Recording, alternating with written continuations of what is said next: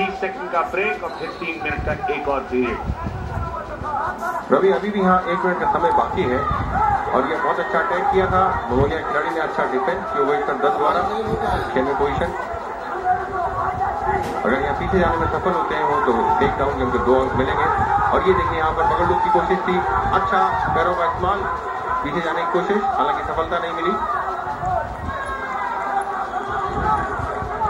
पहले राउंड में आखिरी 20 सेकंड की ओर बढ़ती हुई घड़ी हमारी लगातार योगेश्वर दत्त लगे हुए हैं कि पॉइंट मिले किसी तरह से दो तीन मिनट और यहाँ पर लगातार हाथों का बहुत अच्छा इस्तेमाल कर रहे हैं। डिसबैलेंस करने की कोशिश कर रहे थे, संतुलन बिगाड़ने की। हालाँकि टेक डाउन नहीं कर पाए और धीरे धीरे समय बीतता हुआ।